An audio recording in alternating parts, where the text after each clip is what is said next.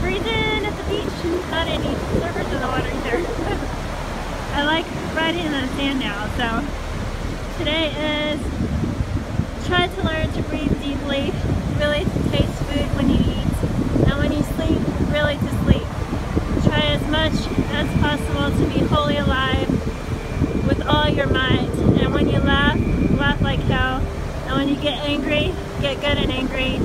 Try to be alive. You will be dead soon enough. And that is Ernest Hemingway. So, gotta live and live fully and go all out. So, I hope you have a phenomenal rest of your month. Yay! Burr. I guess there are some surfers going in the water. Uh, not me. so happy, happy day today.